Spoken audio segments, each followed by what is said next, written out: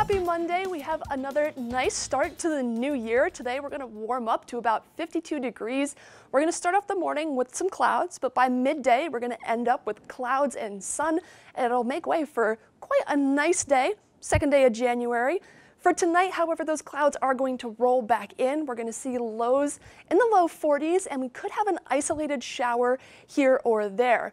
However, if we take a look ahead at what to expect for the week, Tomorrow we have some heavier rain coming our way, more widespread showers across the region, and this system is going to linger into Wednesday. These showers will also head into Thursday a little bit, not a whole lot, mostly cloudy on Thursday with an isolated shower here or there.